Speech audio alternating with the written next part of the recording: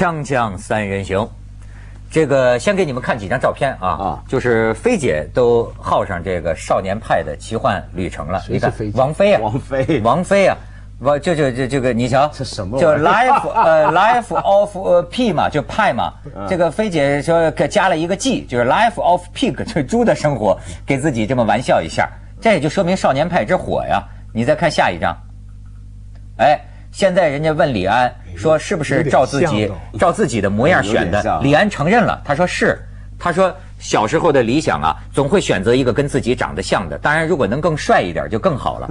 事实上，大家认为李安比这个少年帅，年轻的李安啊。再看下边，李安五十六岁的李安，为了拍这个电影，考到了潜水执照。哇，你知道最近真演的下去啊？呃，那当然了，考潜水证。所以你知道最近演艺圈就是说叫什么呢？咱们叫正能量。哎呀，我非常烦这个词儿，就非常就就但是呢，就非要这么说，说有几个榜样，李安是一个榜样，为了拍电影考到潜水执照。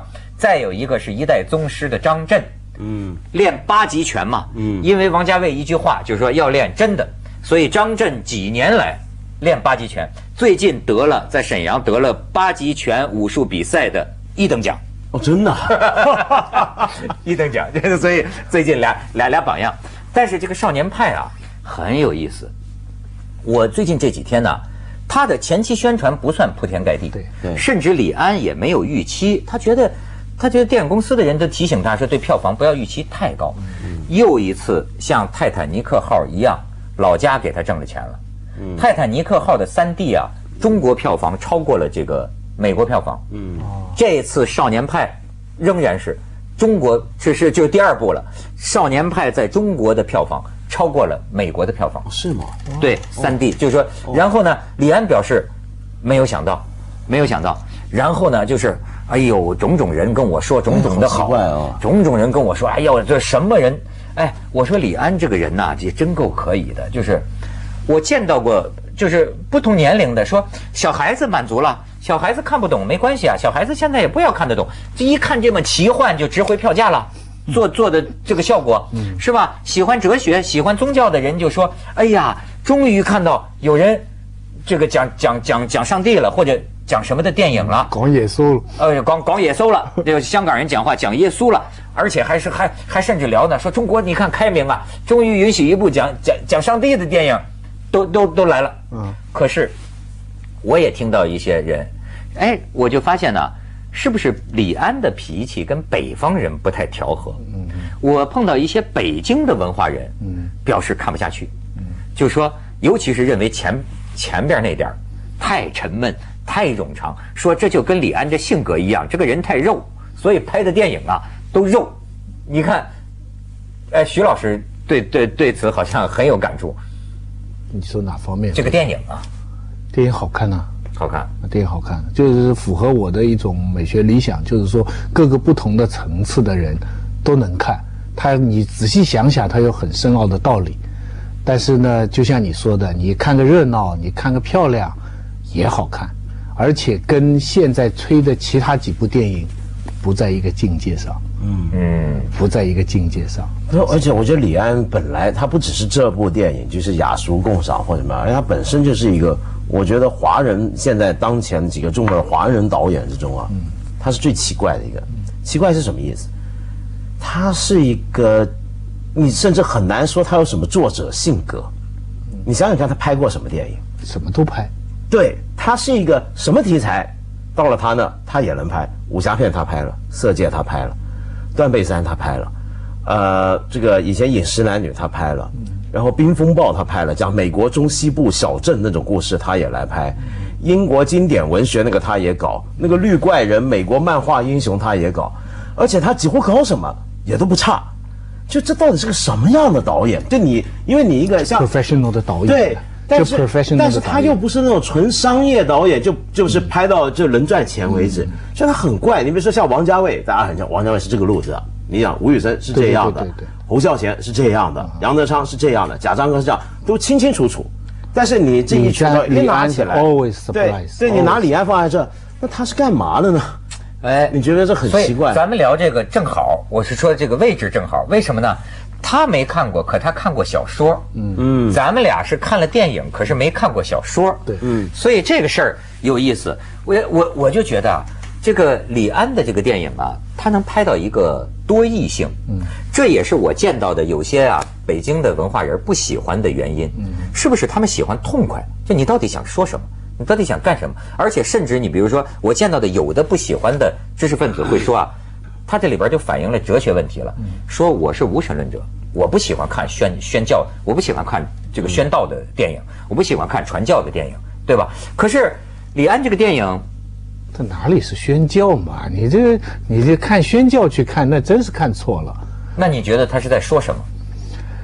呃，我自己最大的感受，看了这个电影以后，就是他人就是老虎。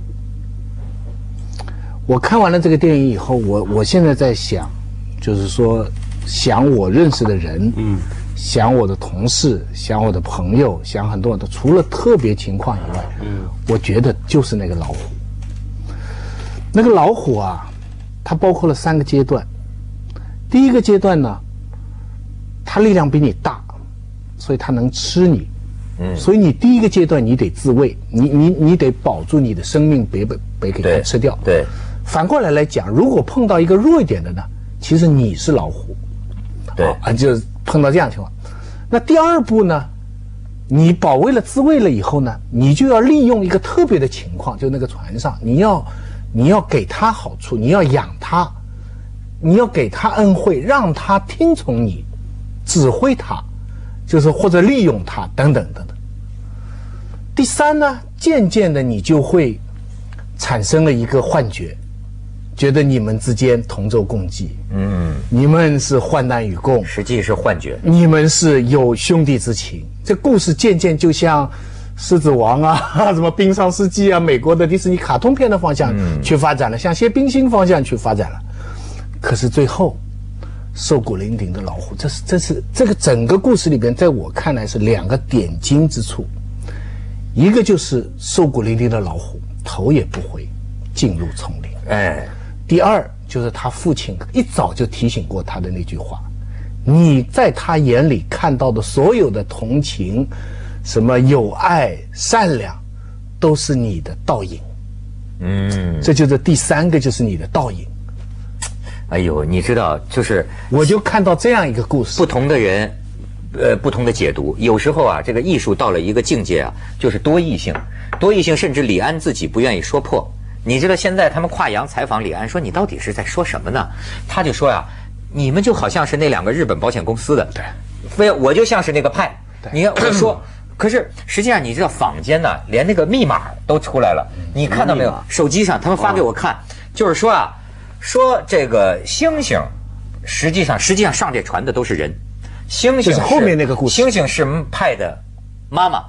然后呢，是呃厨子又杀死了那个谁，然后又吃了那个妈妈，然后老虎就是派本人，老虎就是派本人。最后你知道，甚至说的那个神呢，就是说他们去到的那个奇幻小岛，嗯，说那个岛啊是他妈妈的尸体，那个岛上不是很多，它叫那种小动物叫什么狐獴啊，对。满山遍野都是啊。他说那是尸体的那个尸虫，尸虫，所以这个岛哪哪来的解读啊？网上的解读说那个岛啊是吃人岛，就最后说实际上是妈妈的遗遗体，吃人岛。而且甚至他们在电影里边拍出来啊，那个岛的夜景不是闪闪光的吗？侧面是一个女人平躺的侧面的那个形状。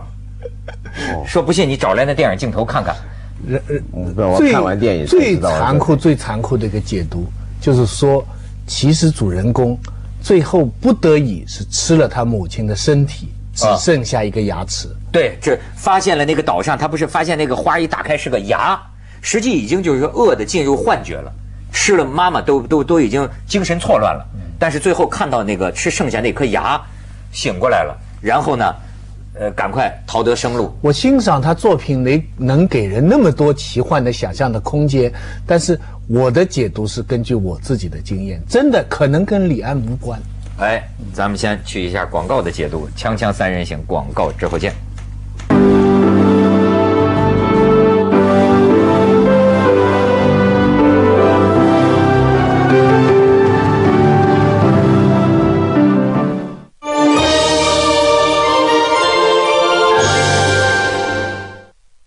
顶九韵古法。配桃花春曲，采无极之水，汇原酒精华，年份原浆，古井贡酒。选择节能，选择安全，热水器升级换代，我选领导品牌美的空气能热水机列入国家节能惠民工程，空气能选美的。科技品质的源泉，责任是品质的保证，品质改变世界，三一重工。传承千年酿造工艺，历经天宝洞藏，红花国色，酱香典范，红花郎。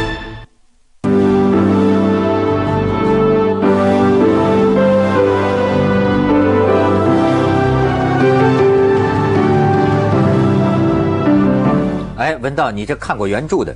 对，因为那个时候他刚出没多久，英文版的时候我就看过。后来因为我要做节目，我又看了一次那个中文版，我觉得很有意思。就是，呃，因为你们刚刚说的那些解读，在因为这个书出了很多年了已经，那他现在是个大作家了 y a m a t e l 那么当年布克奖给他讲的时候，那个时候就很受欢迎，大家评论，我没有见过关于书的评论提到刚才那些观点。所以我很好奇，是不是电影拍了些什么很不一样的东西？而且我也好奇，说这个电影的前半部沉闷指的是他还没出海的那半部，对对对对哦，这个我就觉得有意思了。为什么呢？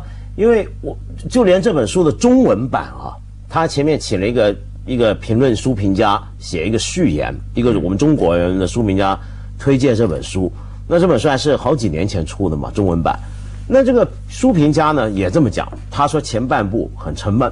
这九十多页应该可以删掉，嗯嗯！但是这个我就很好奇，为怎么可能呢？就是讲那个记者去采访那个人的这一段，对对对，你们讲是这一段，因为小说里面呢，它整个前半段，这个小说大概是三部分，第二部分就是航海的部分，第一部分的长度啊，几乎及得上航海的部分。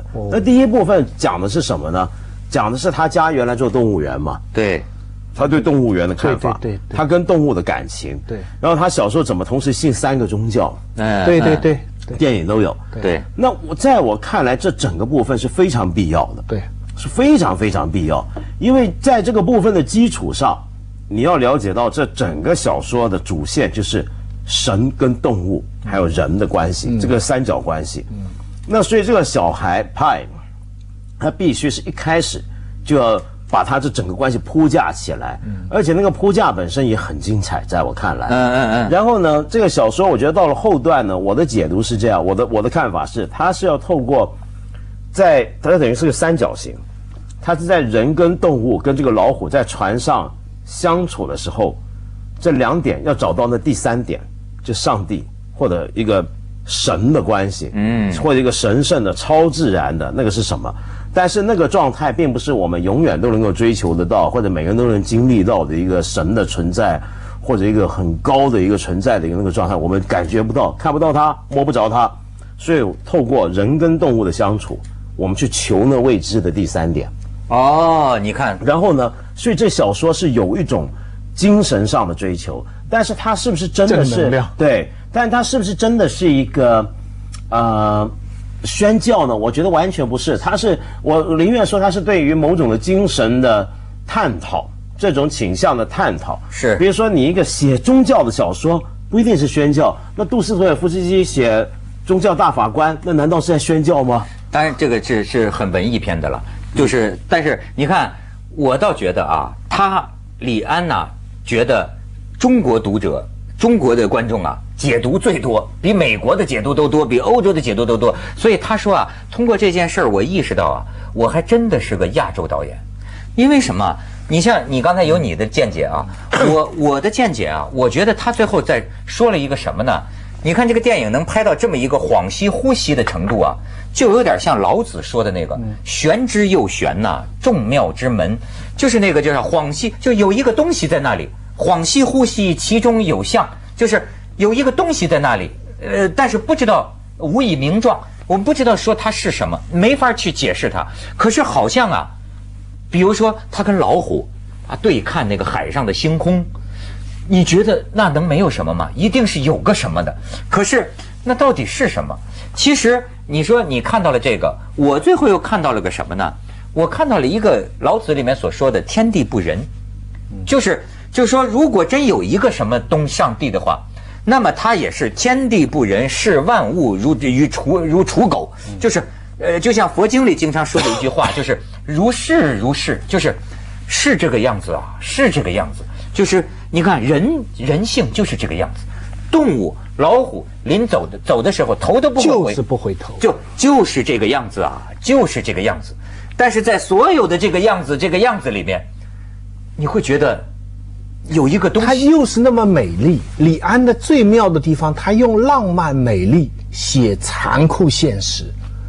嗯，那么浪漫，那么美丽，背后是一个，就像你说的，其实这个老虎瘦伶伶的回到他们。我们说直就像你说的，这个框架是这样，直到最后老虎进森林了，我们才想起他爸爸早就跟他说过的，你看到的所有的那些友好的东西，只是你的幻觉。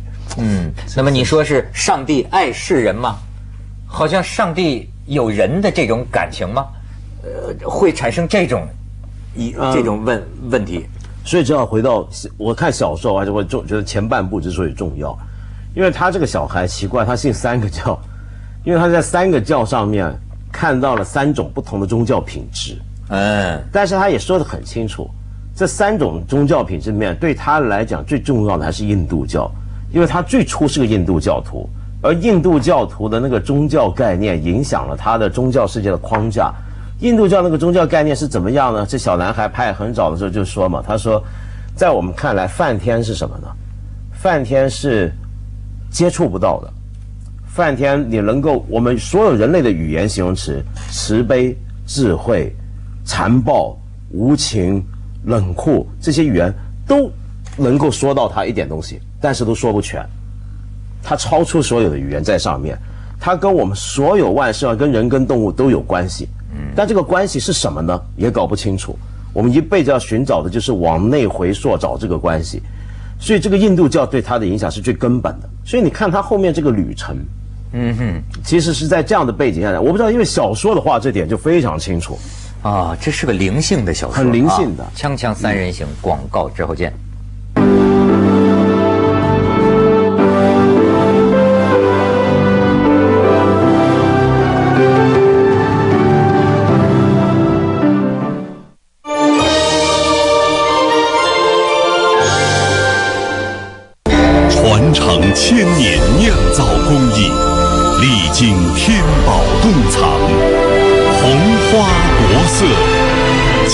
酱典范，红花郎。灵感来自五千年文明，激情来自万里河山。实干闯未来，双喜午夜深。窖藏陈酿，经典酱香，喜酒窖藏一九八八。